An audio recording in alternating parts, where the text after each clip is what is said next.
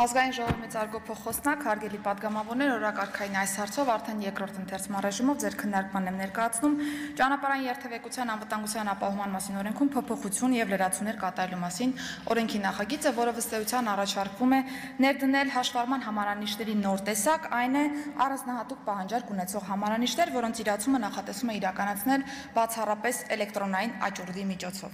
Նախագծի համաձայն կառավարությունը սահմանելու է ըստեյության հաշվառման առանձնահատուկ պահանջարկ ունեցող ունեցող համարանիշների չափորոշիչները, իսկ ներքին գործերի նախարարը իր հերթին կսահմանի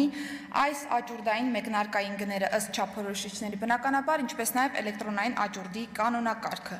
Էլեկտրոնային աճուրդը կազմակերպելու եւ անցկացվելու է ներքին գործերի նախարարության կողմից։ Նշեմ, որ առաջին երկրորդ ընթերցման ռեժիմի շրջանակներում Պաշտպանության եւ անվտանգության հարցերի մշտական հանձնաժողովի հետ շատ մանրամասն քննարկում ենք ունեցել նախագծային դրույթների մասով, առայն որ պետք է օրենսդրական կարգավորները այնպեսին լինեն, որպեսզի հնարավորինս բացառվի մարդկային որևէ գործոն եւ միջամտություն աճուրդի process-ում եւ ըստ այդմ նախագծում կատարել ենք բավական լրացումներ, որոնք միտված են հենց այս նպատակի իրացմանը։ Նախատեսվել է առանձին հոդված այս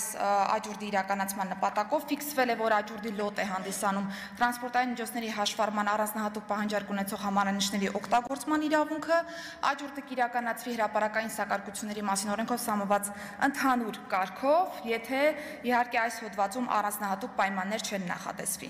Հրապարակային ծանոթությունների համար օգտագործելու ենք ներքին գործերի նախարարության պաշտոնական կայքեջը, այն է միակ.gov.am եւ մնացյալ հարցերը եւս մանրամասն կարգավորված են հոդվածի շրջանակներում։ Նշեմ պարզապես, որ աճուրդին մասնակցել ցանկացող անձը ինտերնետ կայքում ստեղծված համակարգում պետք է ունենա մասնակցի անձնական էջ, որից հետո հրապարակային ծանոթման մեջ նշված կարգով եւ ժամկետներում լոտի մեկնարկային գնի 5%-ի չափով աճուրդի մասնակցության նախավճար պետք է փոխանցի, որպեսզի երաշխավորի իր մասնակցությունը աճուրդ ոլորտին։